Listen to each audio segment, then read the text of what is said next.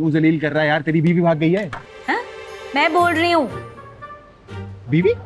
बीवी? नहीं भाई आलिया बात कर रही हूँ।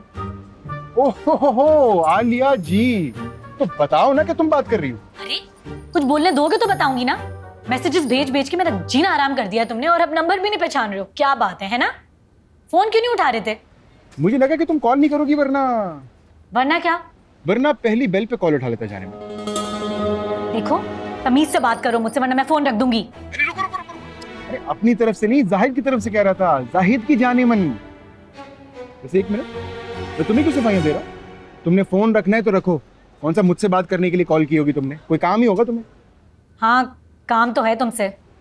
तो जिन्हें काम होता है ना वो तमीज से बात करते हैं। हे तुम मुझे तमीज सिखाओगे? नहीं नहीं तुम जाके अपनी अम्मा से तमीज सीखो। उसने पूरे मोहल्ले की अखलाकियात की मिनिस्ट्री संभाली हुई। मैं रख रहा हूँ फ़ोन।